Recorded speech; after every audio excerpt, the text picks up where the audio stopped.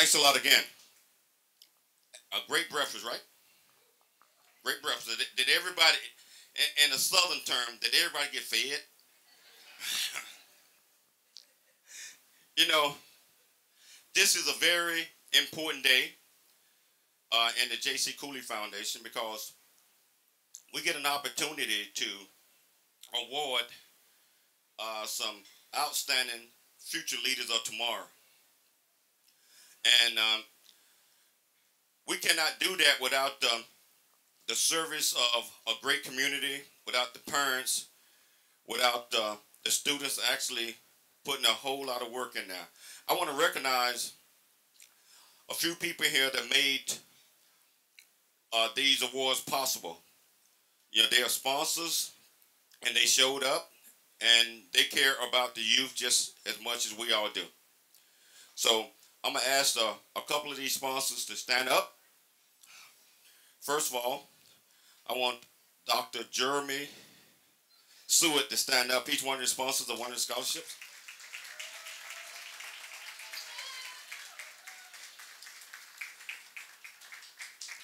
I want uh, Mr. Leonard Mars to stand up. He's one of the sponsors of scholarships. I want my wife, Michelle Cooley, to stand up. She's one of the sponsors. I want this young lady to stand up. She has been doing a lot of stuff in the community and working with a lot of kids. And um, we couldn't have done this without her. Mrs. Cara Hernandez.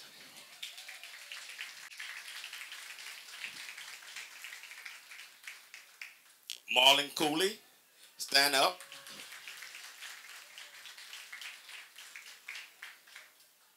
You know, so this is, where is Chandra? Miss Chandra Burrs, stand up.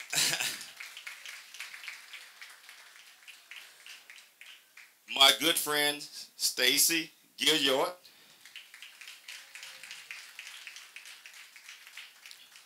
The owner of this great place, Gennaro. Gennaro. Gennaro is sponsoring a scholarship. Uh, one of the lucky people that wasn't identified to get a scholarship today, he said we're giving him one. So we're gonna pick somebody at random and get him a scholarship. Let's yeah. So we're gonna get along with the program. Today's message, before we delve deep into this, I want to talk to you all about vision, understanding, and focus. Vision, understanding, and focus. Whatever we do in life, wherever the next destination takes us, we have to understand that there is a life out there that we choose, we must put the building blocks together. When it comes to vision, vision is, in my opinion, is having these thoughts in the back of your head, having these dreams, having these dreams, these thoughts, and just like what my program stands for, dream big, think big, be big. Dreams. To many of us, there are only dreams because we do not put the dreams into play.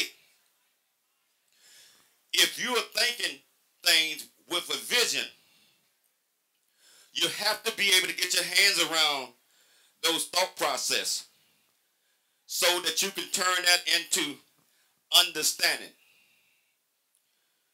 Vision, when they are placed into understanding, that gives us a pathway and a plan to be able to put those dreams into play. Like I always tell you, many people are going to tell you that you cannot do this and you cannot do that. If you can see it here, if you can see it, you can do it you can do it. So, vision, if you got dreams, formulate those into understanding. You take these vision into understanding and figure out what it's going to take to build that image that you have in, in the back of your head. A lot of times you have to plan it out because it requires resources. Resources, it's, it's not always money. Resources. The different pieces of the puzzle that is going to require for you to get there. So you have to have a plan. Just like many of you are coming out of high school this week. Some of you guys graduated yesterday. Others will be graduating next week. Let me tell you, if you don't already know, the minute you walk down that aisle, mommy and daddy give you that big old hug and, and you know, pat you. Hey, now, you're out there. I mean, you out in the real world. And we we can't say, okay, uh, mommy, I, I still need allowance or I need, need, need lunch money. You better have a plan. So that's the sign of maturing. And that's the sign of growth. And again, it comes from vision. Vision, what you plan on doing. Turning that into understanding. But in order for us to make things work and create that product that we have in mind, we have to focus on the building blocks. If you were building a house, have vision that you might be thinking about a little house at that time. But you got to make sure that foundation is big and that it can hold 50, 100, 200 times the weight or more. Because as we grow and as we focus, we build. So that building block that's coming from your vision is that mind. And that means education. Education is important. You have to continue to build upon the foundation that was already laid. We can't get to a certain point and say, I don't need any more understanding. A lot of us said that. I don't, I'm not going back to school. High school is good enough for me. College, are you crazy? You have to continue to build. So you have to focus on a path. And I believe that each and every last one of you are focused on the path. These are not just mere words that I'm saying.